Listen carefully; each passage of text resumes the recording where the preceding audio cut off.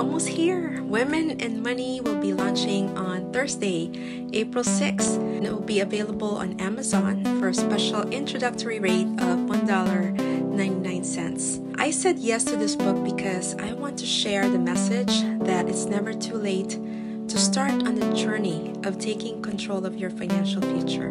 Financial literacy and independence are important skills for everyone, regardless of gender.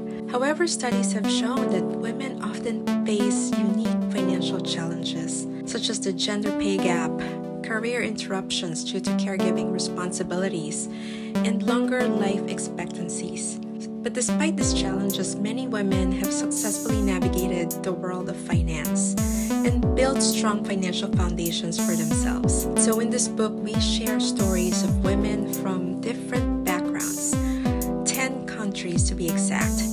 Not just about having money, but it's also being able to choose for yourself how much you want to earn, how much you want to work, how you can create a life that you want, and having the confidence that you can achieve your goals and dreams. I would be so honored if you would mark the date on your calendar and share our book with your friends, contacts, and colleagues. So I'll see you on April 6th. Till then.